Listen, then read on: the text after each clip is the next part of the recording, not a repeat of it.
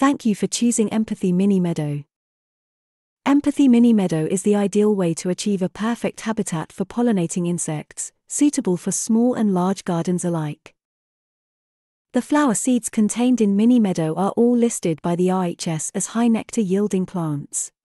In turn, these flowers attract beneficial insects that pollinate gardens, triggering fruiting and flowering. This community of beneficial insects also act as natural predators to help reduce pests such as aphids.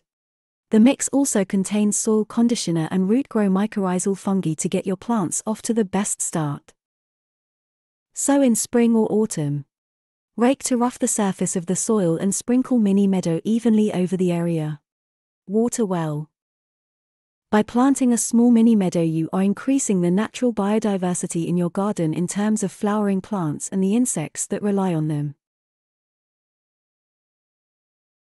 Empathy products are ecological by design. Pioneering the use of beneficial soil microbes in agriculture, horticulture, and gardening to reduce our reliance on harsh chemicals. Seek out more empathy products in store.